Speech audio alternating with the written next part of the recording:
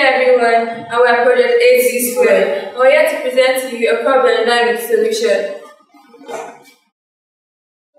In recent times in Nigeria, millions of citizens are becoming victims of the clashes of insecurity, thereby leading to loss of lives and properties. This is because of the neglect and errors of ineffective security personnel, which has led to an overall breach, security breach in our society. Statistics have shown that level of insecurity is increasing year by year, and if the level of security at 20 uh, to 30.3%, what level of insecurity at 2024? Can we truly thrive as a society when the pervasive specter of insecurity looms over us, sowing distrust, undermining our safety, and hindering the future for us all? Definitely not. That's why we're doing to present to you BioFortress. Now, what is BioFortress? Basically, BioFortress is a biometric security force that has control access and has equipped biological technology. This is designed to provide high security in various places just the use of physical traits and behavior. It's a hardware and a software technology. What about Fortress?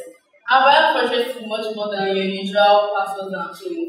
It has enhanced access control, improved security measures, it prevents unauthorized entry, it has efficient authentication, and has user-friendly interface which allows the user to communicate with the AI.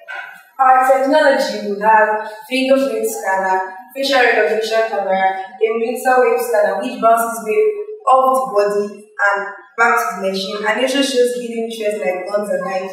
We have the encryption backup power and we have the aluminium plastic gas which is able to withstand pressure, tension and also comes with air spaces ventilation to prevent suffocation. Now the benefits of BioFortress, it has privacy, protection, stability and integration, enhanced security, improved accuracy, confidence and efficiency, and a, deterrent of fraud and impersonation. Now, how does this work? So, our BioFortress is able to authenticate a person's identity, control access to a facility, and able to generate logs of an employee or a customer when he or she is entering or exiting a facility. Our BioFortress focuses on reducing the risk of unauthorized access identity and by using biometric authentication methods.